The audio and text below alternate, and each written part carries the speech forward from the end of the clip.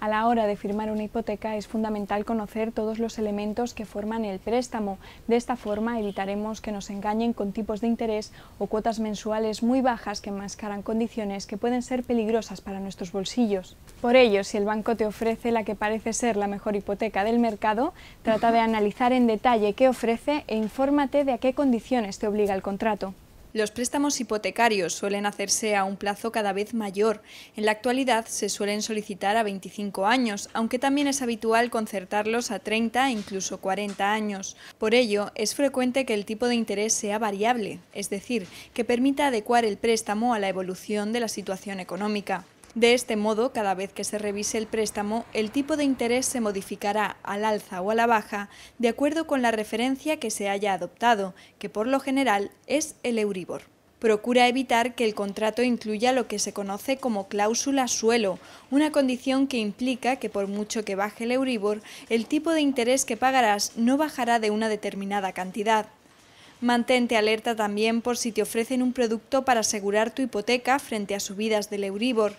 Ten cuidado, porque puede ser una trampa y podría encarecer sobremanera el préstamo. Otro de los elementos que debes tener en cuenta son las comisiones. Si existe una comisión de apertura, ese porcentaje del valor total de la hipoteca encarecerá los gastos iniciales que tendrás que pagar.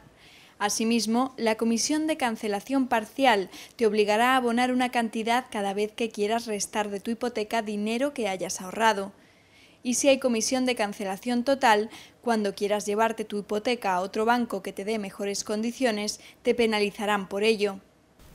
Es muy importante que a la hora de pedir una hipoteca seas realista con la cantidad que puedes llegar a pagar cada mes. Hay que ser previsores y hacer cálculos dependiendo de distintas posibilidades.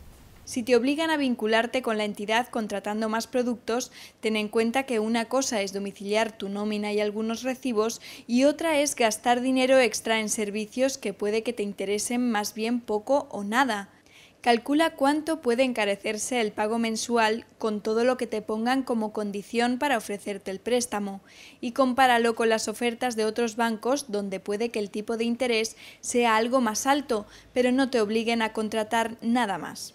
Si observas que la publicidad que te hizo ir al banco es engañosa, no dudes en denunciarla y recuerda que si una entidad está dispuesta a darte una hipoteca, otras también lo harán y puede que en mejores condiciones.